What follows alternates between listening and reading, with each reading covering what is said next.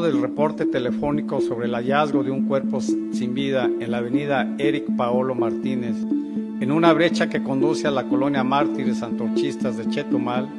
la Policía de Investigación inició las indagatorias correspondientes que permitieron ubicar el cadáver de una persona del sexo femenino identificada con las iniciales JGSG. En el lugar, peritos de diversas especialidades recabaron los indicios para a la carpeta de investigación iniciada por el delito de feminicidio.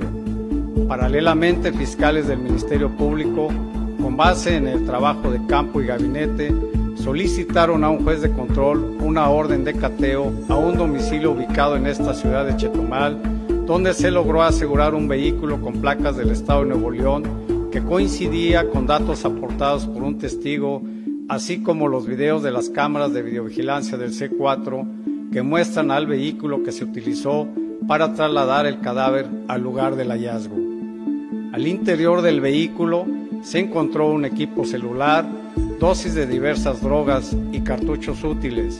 También personal de servicios periciales detectó la existencia de manchas hemáticas en la cajuela del vehículo, las cuales dieron positivo a sangre humana y al llevar a cabo la confronta con el perfil genético de la víctima, se determinó que el ADN correspondía a la oxisa.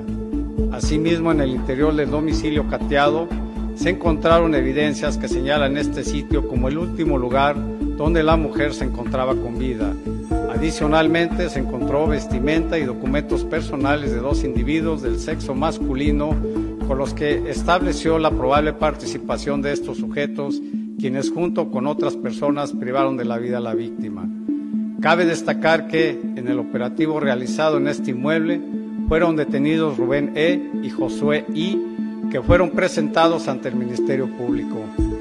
Las investigaciones que continúan en torno a este feminicidio también dieron como resultado que la noche del día 9 de diciembre se efectuara un segundo cateo en otro inmueble de esta ciudad de Chetumal, donde también fueron detectadas a través de diversas técnicas manchas hemáticas que corresponden a sangre humana, por lo que se está en espera de los resultados del perfil genético.